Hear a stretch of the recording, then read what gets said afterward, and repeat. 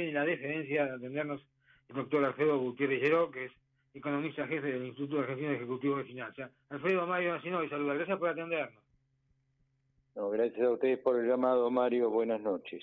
Buenas noches. Bueno, eh, creo que quizás lo más llamativo, usted también me dirá si hay alguna otra cosa que para ir tomando en cuenta, porque creo que también hubo temas de orden monetario, renovaciones de vencimiento que merece la pena señalar, pero este a no dudar fueron los índices que se conocieron en las últimas horas en materia de pobreza, nada que no fuese previsible, como yo decía al principio del programa y lo he dicho varias veces, bueno, una vez que se corre el telón, que se cerraron las este, variables de la economía, que se destapó, como dije yo alguna vez también, la olla marmicoca presión, en definitiva, este, otra cosa se podía esperar, pero en definitiva, este, acá hay una diferencia de a lo mejor 11 puntos que pueden ser este, de alguna forma imputables a la actual administración, pero ya veníamos con más de 40 este, puntos de,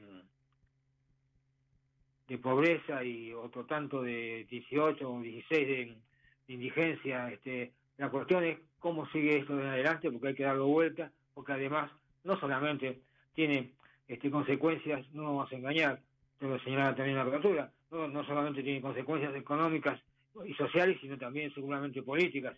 Y obviamente que algunos datos ya están diciendo de alguna flojedad en algunos indicadores de adhesión a la actual administración y obviamente que para seguir adelante un determinado programa económico no solamente se necesitan medidas económicas, sino también algún grado de apoyo político, Alfredo.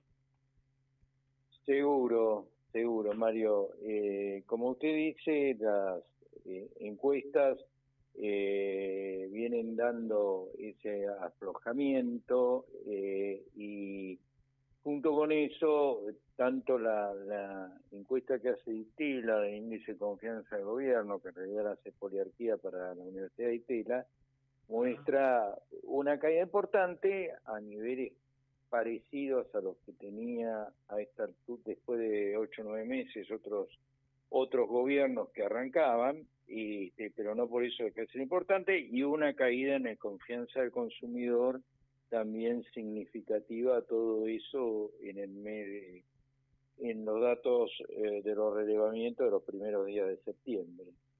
Dicho eso, yo le diría que la pobreza tiene, como usted dice, viene de niveles muy altos, históricos, tiene que ver eh, con ese punto de partida elevado, que tiene a su vez se asocia con cuestiones de eh, mala calidad de empleo en los ocupados, porque si uno mira la, la, la, tasa de desocupación, no es, abro comillas, tan alta como para explicar 52% de pobreza. Estamos hablando de una tasa de desocupación del 7%, que es un, es un horror, pero no es 21% que 21% que supimos tener alguna vez, ¿no es cierto? Eh, entonces esto tiene que ver con el salto en, los precios que se blanqueó entre comillas en, en diciembre, a principio de año, de inflación reprimida que traíamos de, del régimen anterior y que bueno, eso ha terminado de producir ese salto de 40 a 50 eh, que es lo que lo que estamos viendo. Eso es, entre comillas, eh, reversible en la medida que la inflación se está estabilizando. Uno mira, eh, si usted mira la serie mes a mes de, de mm, enero, de febrero hasta ahora, eh, el salario real del trabajador registrado aumentado, dicho de otra manera, los salarios nominales de los trabajadores registrados han aumentado, y con rezago, con rezago, los ingresos del trabajador no registrado, le hace el trabajador entre comillas en negro, también han empezado a mejorar. Eh, con lo cual eso debería llevarnos en la próxima medición algún número, no quiero hacer proyecciones, pero que no va a estar entre el 52 actual y el 43-44 previo y empezaría a mitigar un poco la, el problema. me refiero a la parte inflacionaria. Otro es mucho más duro, es una pobreza mucho más dura. estructural, la, pobreza estructural, ¿no es cierto? Claramente. Porque esto que se mide, se mide la pobreza en función de ingresos, pobreza e indigencia, pero no aspectos estructurales que, que hablan de la este, salud, por ejemplo, de la, las eh, condiciones de vida, la escolaridad, la, la, vivienda. La, vivienda, exactamente. Las condiciones de vida, por ponerlo en términos, en, debajo de todo un paraguas común. Así que eso es lo que uno, uno esperaría ver, porque eso se corrige con crecimiento. Uno se corrige con estabilización, el otro se corrige con crecimiento. Me refiero a los dos tipos de pobreza, si que podemos dividirla de la manera que hicimos recién. Y en términos de crecimiento vamos despacito, porque como usted dijo, hay señales, pero son señales, mire, si usted me, me permite la figura, es como que hubiéramos caído de un tercer piso a un tercer subsuelo. Y ahora estamos en un segundo subsuelo. Entonces el gobierno puede argumentar y el equipo económico, ven, estamos mejorando, hemos salido un poco del piso y usted mira el, indicador, el estimador de actividad económica y efectivamente estamos 2 o 3% arriba del piso. Pero si usted mira el primer, el segundo trimestre del 22, estaba haciendo recién los cálculos, Estamos 7% por abajo de ese trimestre, eh, que no era ninguna maravilla, pero todavía la economía andaba más o menos a los tumbos, pero andaba. Eh, entonces uno mira, el, el gobierno dice, estoy, estamos mejor que el piso, es cierto, estamos 7% eh, peor que hace dos o tres años, y eso es lo que percibe la gente, entonces eso explica esa, esa, ese deterioro en los índices agréguele y termino que junto con, si bien la tasa de inflación se ha desacelerado, hay un cambio de precios relativos que pega con el tema de las tarifas de los servicios públicos y porque algunos servicios privados está apretando apretando el presupuesto de la gente porque tiene que derivar derivar ciertos consumos postergar ciertos consumos para atender esos servicios. Esos gastos corrientes Mm, exactamente. Y, y, lo que faltaría todavía, ¿no es cierto? Porque la verdad que hay un camino por delante. Creo que la semana que viene también voy a aumentar el subte, se va a 700 y pico de pesos. Están pidiendo los transportistas un boleto de mil pesos. La cuestión es dónde está el, cruce de mm, curvas de líneas de lo que sería lo real y lo soportable, ¿no es cierto? Acá este este, realmente hay algo más que a lo mejor una ecuación económica y ver cuáles pueden ser las este, variantes de orden político y de factibilidad de mantener este programa en, la medida de lo posible este, hasta que por, lo menos comience a dar los resultados este, aceptables que hablaban de a lo mejor este no sé 1 o 2% de inflación para diciembre. Esto sería a lo mejor un objetivo a lo mejor podría ser un aliciente no como mínimo.